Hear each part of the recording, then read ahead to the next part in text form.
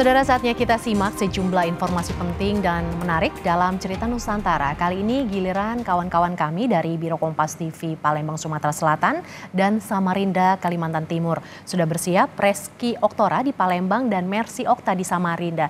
Terlebih dahulu kita ke Palembang. Selamat siang. Reski, informasi menarik apa dari Palembang siang hari ini? Selamat siang, Mercy dan juga saudara. Ada dua informasi dari Palembang, Sumatera Selatan untuk cerita Nusantara pada siang hari ini. Cerita pertama datang dari peluang bisnis jamur. Tingginya permintaan dimanfaatkan seorang pembudidaya yang sejak 2017 lalu mengembangkan jamur tiram putih di rumahnya di Desa Kempen Laut, Kecamatan Talangkapa, Kabupaten Banyuasin, Sumatera Selatan.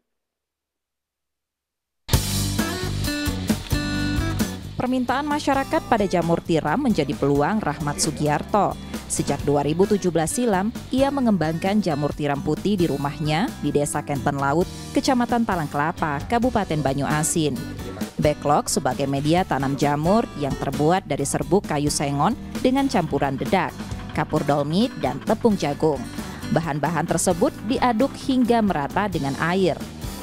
Setelah dikemas dalam kantong plastik, backlog dimasak dalam tungku bertekanan tinggi selama 1,5 jam dengan suhu hingga 120 derajat. Sterilisasi bertujuan mematikan kuman dan mikroba. Proses berlanjut ke pembibitan dengan menaburkan bibit jamur F2 ke dalam backlog. Bibit berasal dari jagung atau sorghum. Dalam ruang inkubasi, sebulan backlog akan ditumbuhi spora jamur berwarna putih 40 hari setelah pembibitan, jamur tiram mulai bermunculan. Jamur dapat terus dipanen 4 hingga 6 bulan setelahnya. Setelah pandemi, pembudidaya jamur mengalami penurunan produksi setiap hari. Rahmat kini hanya dapat memanen 3 hingga 5 kg jamur yang dipasok ke sejumlah pasar di Palembang dengan harga jual per kilonya Rp20.000. Rata-rata per seribu log itu untuk hari itu 3 sampai 5 kilo panen tiap hari. 3 sampai 5 kilo? Iya, untuk seribu. Kalau sampai pas panen raya per seribu bisa 15 kilo. Kalau kita pelanggan di pasar semua, karena kita sekarang kan terus terang karena pengaruh covid itu imbas covid jadi sekarang kita banyak yang jual log jadi log saya keluarin untuk putaran modal lebih cepat gitu kan terus terang Para petani jamur lokal terus bertahan karena budidaya jamur masih cukup besar untuk dimanfaatkan. M. Rizky Nurmizan, Kompas TV, Palembang, Sumatera Selatan. Hari ini kami ajak Anda wisata religi ke Kampung Arab Al Munawar di Palembang. Kita akan melihat rumah limas berusia ratusan tahun Kampung ini didirikan pada abad ke-18 oleh Habib Abdurrahman Al-Munawar yang datang dari Yaman Selatan dan kental dengan nuansa Islam. Berikut informasinya.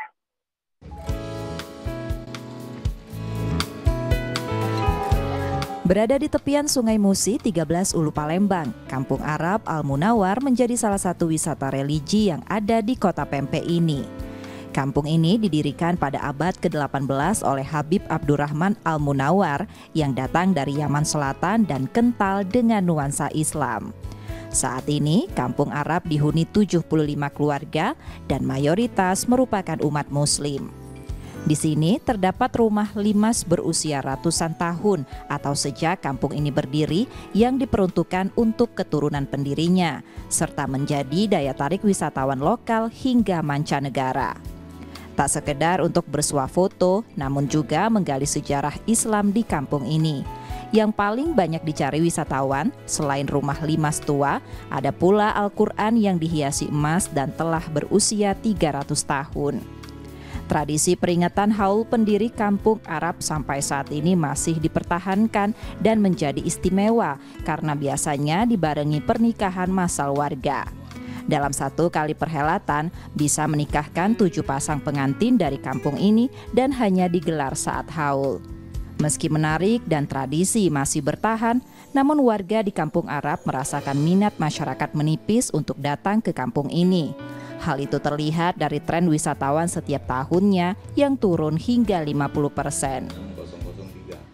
Kalau untuk tren wisatawan setiap tahunnya paling rame-ramenya setelah habis tahun. Hmm paling dia seperti hari Sabtu, Minggu biasanya rame.